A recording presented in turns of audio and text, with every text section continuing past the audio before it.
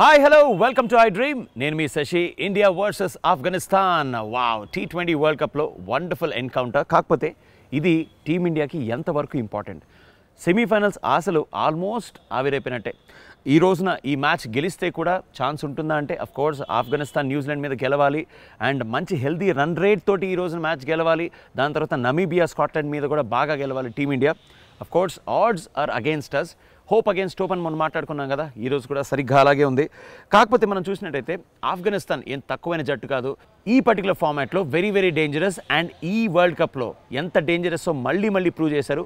Against Pakistan కూడా almost గెలిచేశారు అన్న రేంజ్కి వెళ్ళిపోయారనమాట సో ఈ రోజు మ్యాచ్ ఎక్కడ జరుగుతుంది? అబుదాబీలో. అబుదాబీలో సైడ్ బౌండరీస్ చాలా పెద్దవి. Eighty metres and eighty two metres boundaries అవి. సో స్వీప్ కొట్టాలన్నా లేకపోతే సైడ్ బౌండరీస్ మీద సిక్స్లు కొట్టాలంటే చాలా కష్టం. సో టూస్ ఎక్కువ వస్తూ ఉంటాయి.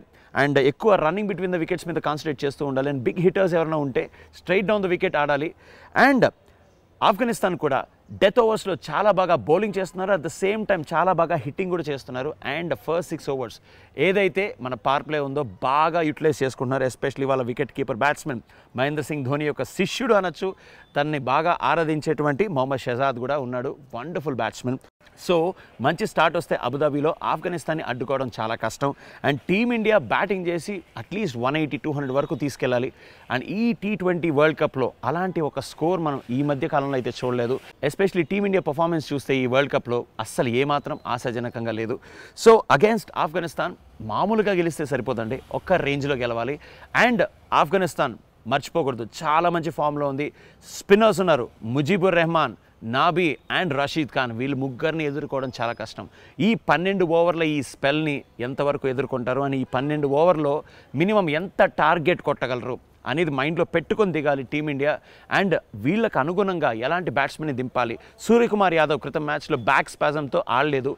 ఈ మ్యాచ్లో సూర్యకుమార్ యాదవ్ ఆడి తీరాలి. అండ్ మిడిల్ ఆర్డర్ యొక్క ఓస్ అన్నీ కూడా బాగా సార్ట్అవుట్ చేసుకొని టాప్ ఆఫ్ ద ఆర్డర్లో KL Rahul and Rohit Sharma opening వచ్చి తీరాలి.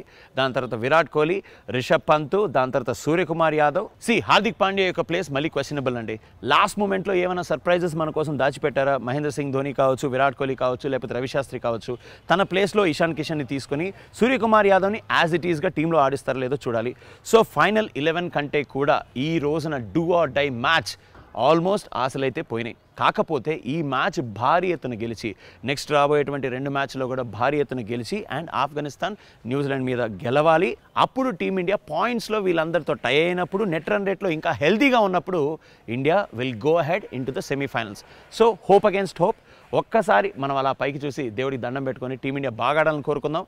అండ్ ఈ టీ ట్వంటీ వరల్డ్ కప్లో టీ ట్వంటీ ఫార్మాట్కి తగినట్టు టీమిండియా ఆడలేదండి. సి అగేన్స్ట్ న్యూజిలాండ్ అయితే మరీ ఘోరం. టెన్ ఓవర్స్కి ఫార్టీ ఎయిటా టెన్ ఓవర్స్కి ఎయిటీనో నైన్టీనో కొట్టాలి.